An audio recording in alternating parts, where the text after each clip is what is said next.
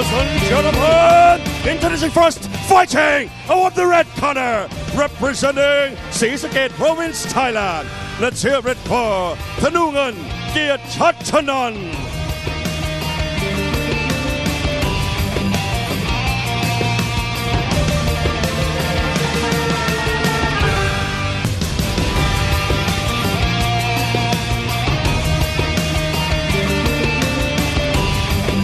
และคู่ต่อสู้เขาครับนักชกในมุมน้ำเงินครับอายุ 16 ปีน้ำหนัก 102 ปอนด์ส่วนสูง165เซนติเมตรสถิติการชกชกชนะ 25 ไฟแพ้ 10 ไฟตัวแทนจากจังหวัดบุรีรัมย์เพชรนิพนธ์ป้อมงคลอิน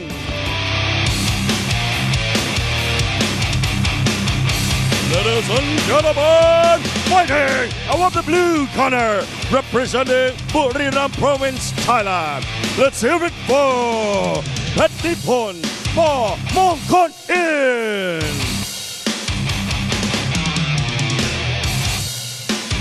เอาละครับคุณผู้ชมมวยคู่แรกของรายการสีสะเกตเจอบุรีรัมย์ผู้ชี้ขาดบนเวทีกรรมการชัยวัฒน์ศรีวัฒนา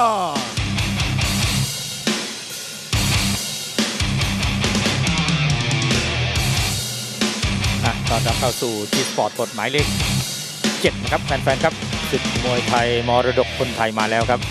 อยู่กับนกตานีแล้วก็บางยาละหมาดครับ สวัสดีครับบางยาครับ สวัสดีครับ อนบตานีครับสวัสดีแฟนๆทางทีสปอร์ตเจ็ตัวจริงเรื่องกีฬาครับสี่คู่หลักที่ทำการถ่ายทอดสด ต้องบอกว่าน่าสนใจเป็นอย่างยิ่งครับคู่เอกนำรายการจอมประเด็จนุปานบุรีพบกับเดชพิชัยตอคงอินคู่รองของรายการเพชรพิชิตชัย นายกเอท่าสลาพบเพชรน้ำหนึ่งเกียรติเจริญชัย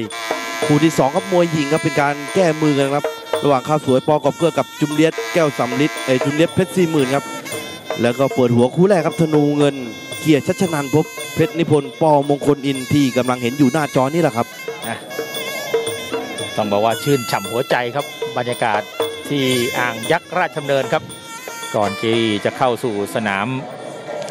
มาตรฐานหนึ่งในสองที่ของประเทศไทยนะครับ ที่เป็นตำนานของวงการมวย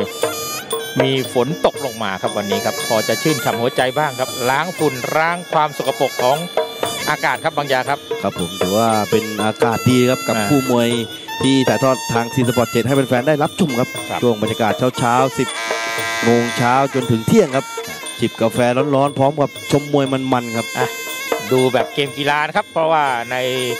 บรรยากาศอ่างยักษ์ราชดำเนินรายการนี้ไม่มีเซียนพนันครับทำมวยไทยให้เป็นกีฬาครับ ต้องขอบคุณครับขอบคุณกระทรวงการท่องเที่ยวและกีฬาครับการกีฬาแห่งประเทศไทย กองทุนพัฒนากีฬาแห่งชาตินะครับ รวมถึงสำนักงานคณะกรรมการกีฬามวยครับ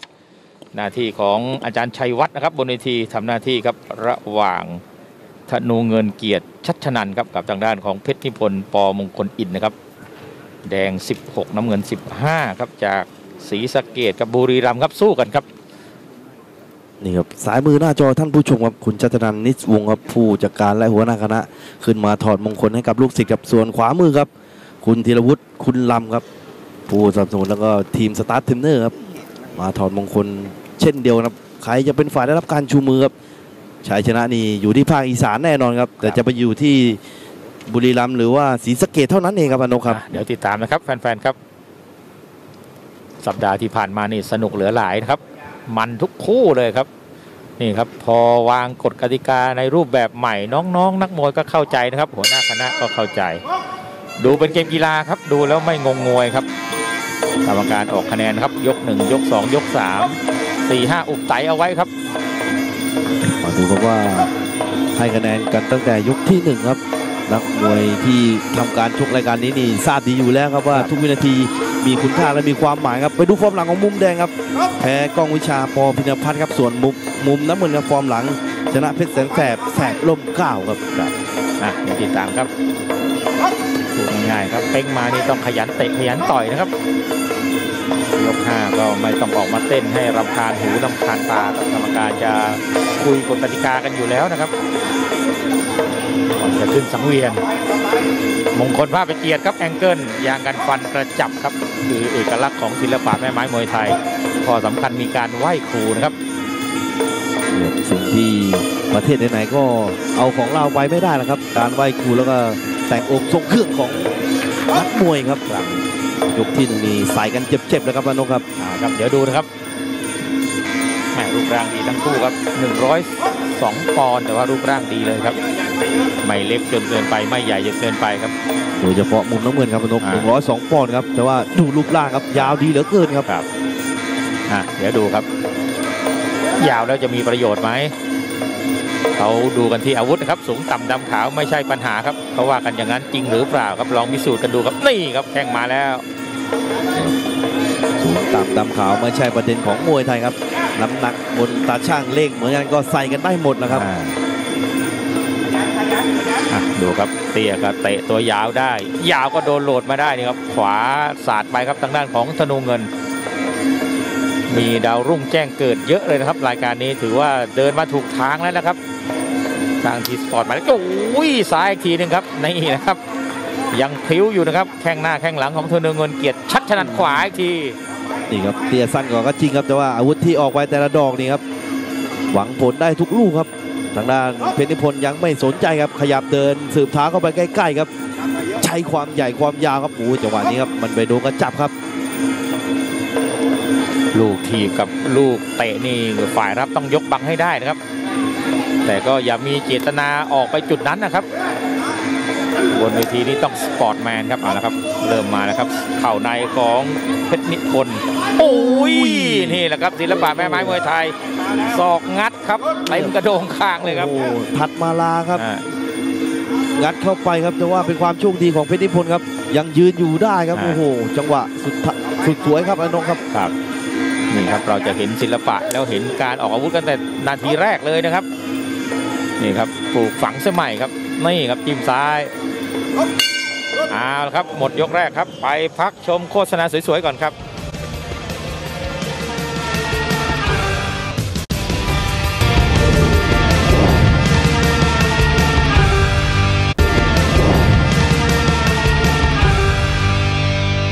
สู่บรรยากาศสดๆครับศึกมวยไทยมรดกคนไทยครับยกที่หนึ่งผ่านไปนี่ได้เห็นอะไรดีๆนะครับคะแนนมาแล้วครับอนงครับอะดูครับ 19 19 แล้วก็ 19 ครับนี่ครับชัดเจนครับ น่าจะเป็นศอกงัดลูกนี้แหละครับอืโอ้โหที่ทำให้เข้าตากรรมการทั้ง 3 ท่านครับอนโอ้โหดู super slow สวยๆครับเปี้ยงเข้าไปครับขวาหลังแม่ดูครับชัดช้าชัดๆครับนี่ครับ มุมสวยๆของทีสปอร์ตหมายเลขเจ็ดนะครับ สวยมากครับสองงัดทัดมาลาอาครับยืดแข้งยืดขาให้เรียบร้อยครับ ออกไปสู้กันต่อครับศึกมวยไทยมรดกคนไทยครับ สิ้นเสียงะระฆังยกที่หนึ่งนี่ทางด้านมุมแดงครับที่เป็นฝ่ายเปิดเกมแซงขึ้นไปก่อนครับ 10 ต่อ 9 ทั้ง 3 เสียงครับมาดูครับ หลังจากที่ทางด้านมุมน้ำเงินครับเพชรนิพนธ์เห็นคะแนนแล้วในยกที่ผ่านมายกนี้แน่นอนครับเขาอยู่เฉยไม่ได้ครับอนกอะข้อสำคัญเข้าไปก็ต้องไม่หลวมด้วยนะครับลุกได้รับก็ต้องเก่งครับศิลปะแม่ไม้มวยไทย ประเภท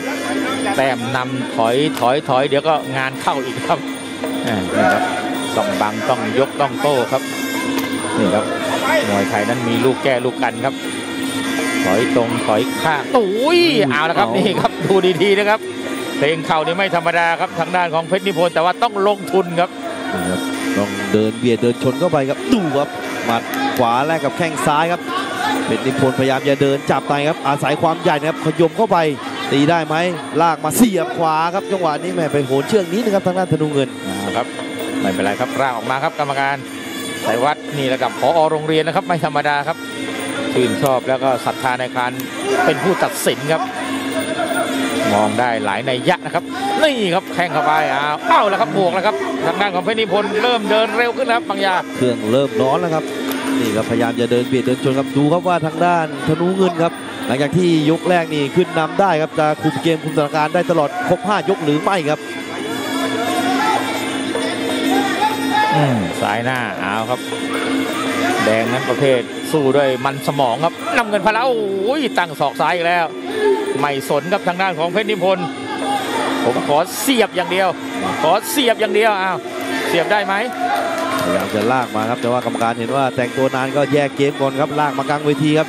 เดินก็จริงครับเพชรนิพนธ์แต่ว่าต้องระวังศอกซ้ายคอยงัดคอยบวกของทางด้านธนูเงินด้วยครับแต่สับได้ทุกจังหวะครับนี่ครับเอาคืนทันทีครับทางด้านเพชรนิพนธ์เสียบขวา อืมอาสายใหญ่แล้วครับทางด้านของเพชรนิพนธ์อ่าครับเดินชนเข้าไปต้องบังต้องเก็บต้องโต้ดีๆนะครับ จ่ายด้วยจ่ายด้วยอ้าวอย่าเป็นผู้รับเหมาอย่างเดียวครับมวยไทยนี่ครับมาคนละแข้งปักศอกคืนนะเอาละครับ เปิดหัวคู่แรกก่อนน้ำลายสอแล้วครับ ดูครับว่าใครจะเสียเลือดก่อนกันครับทั้งเพชรนิพนธ์แล้วก็ธนูเงินครับเห็นได้ชัดเจนครับยกนี้ครับทางด้านเพชรนิพนธ์มีศอกเสริมมา มากกว่ายกที่แล้วครับเนี่ยมีหมัดด้วยครับเดินเข้าไปขวายาวๆอย่างติดบังครับแล้วก็ทีเบรกไว้ทีครับธนูเงินอ่าครับแฟนๆลองให้คะแนนไปด้วยนะครับกฎกติกามวยไทยก็คือเดินเปิดเกมกระทำคู่ต่อสู้ให้บอบช้ำที่สุด แต่ละยกก็จะได้หนึ่งแต้มครับถ้านับก็สองแต้มนะครับมวยห้ายกอ่าครับเดินอีกครับเพชรนิพนธ์เข้าไม่เข้า เดินไม่เดิน โดนไม่โดนป้ายเสียบซ้าย ยกซ้ายอ้าวครับพยายามจะกันในสู้เหมือนกันครับธนูเงินครับ พยายามจะเดินเกมเร็วขึ้นนะครับทางด้านเพชรนิพนธ์ครับแข่งขวามาครับ ขยับซ้ายครับหมดยกที่สองเอาเดี๋ยวพักให้น้ำเดี๋ยวมาสู้กันต่อครับ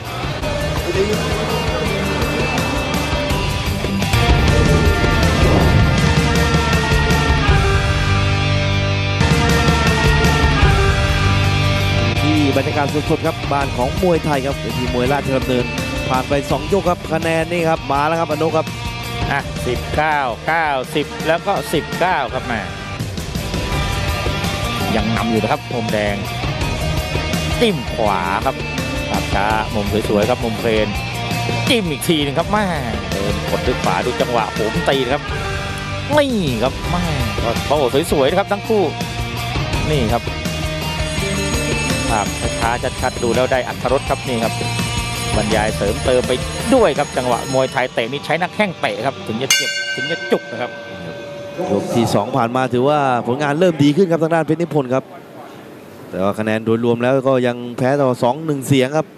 มาดูครับ 3 ยกที่เหลือต่อจากนี้ไปครับ ความใหญ่ความยาวครับจะสร้างความกดดันให้กับทางด้านธนูเงินมากน้อยแค่ไหนครับดูว่าปล่อยตัวยก 3 ก็ไม่สนใจครับพยายามจะเดินปั๊มในจับในตีครับอ่าครับยังเหมือนเดิมครับเพชรนิพนธ์ นักสู้จากบุรีรัมย์นะครับ เมืองมวยเมืองกีฬายแล้วครับอ้าวครับเดินชนอย่างเดียวมีดิสเบรกครับทางด้านของธนูเงินครับ จากศรีสะเกดขวาถีบซ้ายสาดเข้าไปอ้าวมันสมองล้วนๆครับเล็กกว่าหน่อยครับ แต่ว่าสมอง IQ ดีน้ำเงินนี่แม่พละกำลังเหลือเฟือครับ แต่ว่ายังตีไม่เจ็บยังตีไม่จุกครับบางอย่างนี่ครับดูครับอย่างที่นกอนุกบอกครับว่ายังตีไม่เป็นชิ้นเป็นอันยังไม่เจ็บยังไม่จุกครับดูครับว่า เวลาที่เหลือต่อจากนี้ไปครับเขาจะทำผลงานได้มากน้อยแค่ไหนครับแข้งขวามา พยายามจะจับในครับขวางเสียบได้ไหมตั้งกำแพงไว้ก่อนครับทางด้านธนูเงินเนียบสู้ได้ด้วย IQ สมองมวยแหละครับดูการล็อกการลัดนะครับ ดูครับน้องๆครับ ที่อยากจะเดินรอยตามเรื่องของความเป็นอาชีพครับ ร่างกายระเบียบวินัยจิตใจข้อสำคัญความซื่อสัตย์นะครับต้องมีครับวิชาชีพมวยไทย แล้วเสริมเติมไปอีกนิดนะครับ อย่าทิ้งเรื่องของการศึกษานะครับ จบปอตรีก็เป็นนายร้อยเป็นตำรวจเป็นทหารเป็นข้าราชการการเมืองว่าไปครับเอาละครับบนเวทีเดินชนโอ้ยนี่ครับมีครบทุกอย่างครับแข้งหมัดศอกครับคู่นี้ครับแต่ว่ายังไม่มีเลือดครับ เลือดใครจะมีให้เห็นก่อนครับ เดินต่อครับทางด้านเพชรนิพนธ์ครับนี่ครับซ้ายโดนคนละทีครับ ขยับเดินเบียดเข้าไปแล้วก็ถีบขวาเบรกไว้ก่อนครับธนูเงินแหม่เริ่มจะช้าลงครับเด้งหน้าเด้งหลังแล้วครับเพชรนิพนธ์ เดินก็จริงแต่ว่าโดนตีนซ้ายเยอะนะครับภาษามวยอ้าวครับพยายามคืนขวา ไม่มียอมแพ้อยู่แล้วครับไม่ชินเสียงระฆังอ้าวต้องปรุงแต่งครับมีจินตนาการครับ อย่าทรงเดียว ตีไม่ได้ต้องเปลี่ยนอย่างอื่นบ้างครับ ต้องเปลี่ยนเสิร์ฟบ้างครับ ต้องเปลี่ยนยุทธวิธีบ้างครับพอเดินเข้าไปจับในทางด้านธนูเงินครับเหมือนจะเห็นอาวุธแล้วครับต้องมีหมัดมีศอกเสริมเข้าไปเยอะๆครับทางด้านเพชรนิพนธ์ครับแต่ว่าหัวจิตหัวใจนี่ผ่านอยู่แล้วครับดูกับสายยาวๆของธนูเงินครับแล้วก็ทีมขวาเบรกไปอีกที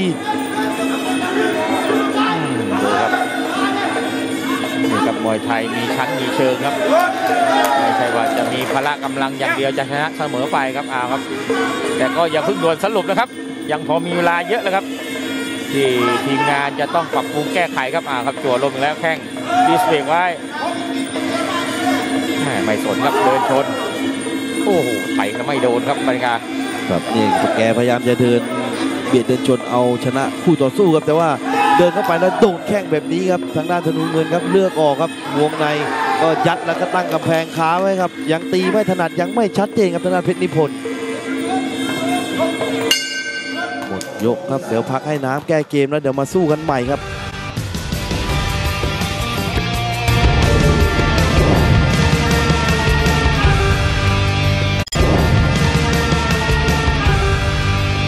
สามยกครับกับคู่ที่หนึ่งบนหัวของรายการศึกมวยไทยมรดกคนไทยครับ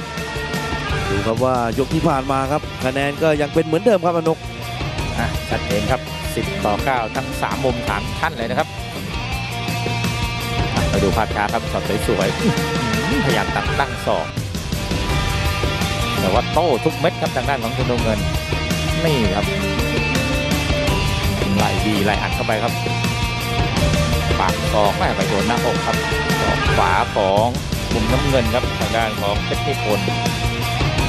คะแนนก็เห็นชัดเจนครับสามยกที่ผ่านมาครับทางด้านเพชรนิพนธ์ครับ แพ้ให้กับทางด้านธนูเงิน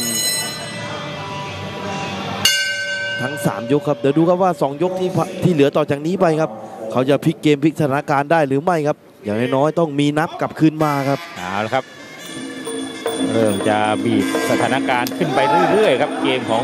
มุมน้ำเงินครับเพชรนิพนธ์เจ้าตัวก็เห็นนะครับที่เลี้ยงก็เห็นทุกคนก็เห็นหมดครับทั้งหน้าจอทีสปอร์ตหมายเลขเจ็ดแล้วก็บรรยากาศในอ่างยักษ์ราชดำเนินจะเอาทางกดนะครับผมพยายามจะสู้เต็มที่ครับแต่ว่าเดินเข้าไปครับดูความหลากหลายของทางด้านธนูเงินครับ มีเยอะกว่าพอสมควรครับมี คอยกดแขนบล็อกแขนตั้งกำแพงหน้ายกเกะกะไปเรื่อยครับเดินเร็วขึ้นครับขวาลุดอีกแล้วนะครับมวยซ้ายมวยขวาพอเตะสูงแล้วมันจั่วลมครับนี่ครับ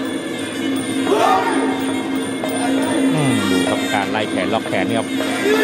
ขวารังซ้ายล็อกเอาไว้ครับไม่ให้ขึ้นคอครับเป็นเทคนิคเทคนิค สู้ด้วยสมองมวยไอคิวมวยแหละครับทางด้านธนูเงินครับไม่แลกไม่ปะทะครับเขียสั้นกว่าก็จริงครับดูครับมีแทงแล้วตั้งกำแพงไว้ครับจังหวะของเพชรนิพนธ์ครับยังขาดขาดเกินเกินอยู่ครับอะปั้นนะครับไล่เตะน่าจะไม่ถึงตัวแล้วครับธนูเงินก็ไม่ให้แตะตัวแล้วครับดูครับ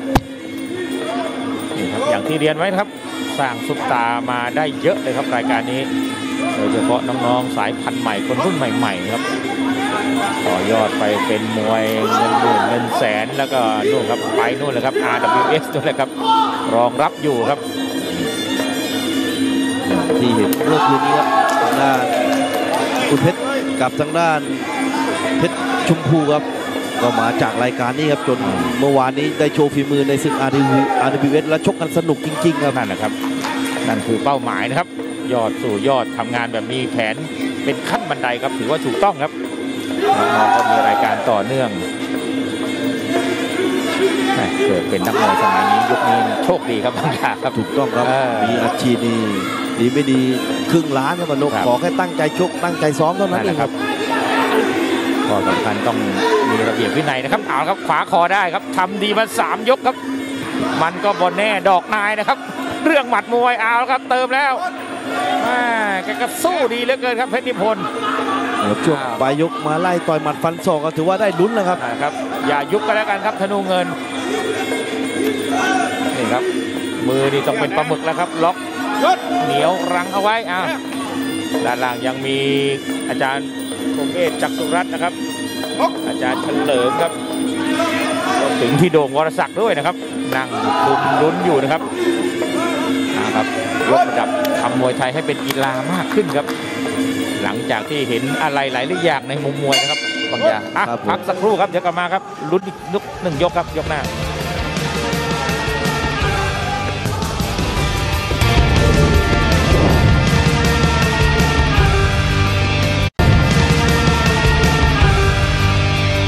กลับมาที่บ้านของมวยไทยครับเวทีมวยไทยแห่งแรกของโลกครับสนามมวยเวทีมวยราชดำเนินครับกับคู่ที่หนึ่ง ศึกมวยไทยมรดกคนไทยครับผ่านไป 4 ยกครับ ยกนี้ไม่มีคะแนนโชว์ให้แฟนๆได้เห็นครับแต่สามยกที่ผ่านมาเห็นชัดเจนครับทางด้านธนูเงินครับ เป็นฝ่ายขึ้นนำออกสตาร์ทนำก่อนทั้ง 3 ยกแล้วครับอะดูมุมสวยๆครับทาง T Sports หมายเลขเจ็ดครับ super slow ครับไปเยี่ยงเข้าไปครับโอ้โหดูครับมีซ้ายนะครับนี่เข่าตีครับโหตีเลยครับ เสียบในกระแทกเข้าไปข้างๆครับ เข่าก็มีหลายอย่างนะครับศอกก็มีหลายแบบแข้งก็มีหลายกินนะครับเท้าเข่าศอกนักว่าอาวุธครับยกเว้นศีรษะนะครับ ห้ามใช้แล้วครับกฎกติกาให้เป็นสากลมากขึ้นครับอะมวยไทยก็อาจจะได้บรรจุในการแข่งขันกีฬาโอลิมปิกเร็วๆนี้ครับบางยาครับครับผมถือว่าเป็นข่าวดีนะข่าวดีถูกต้องครับผมครับมาดูครับสามนาทีที่เหลือครับสามนาทีที่มีความหมายของเพชรนิพนธ์ครับต้องนับ แล้วก็น็อกอย่างเดียวเท่านั้นครับถึงจะ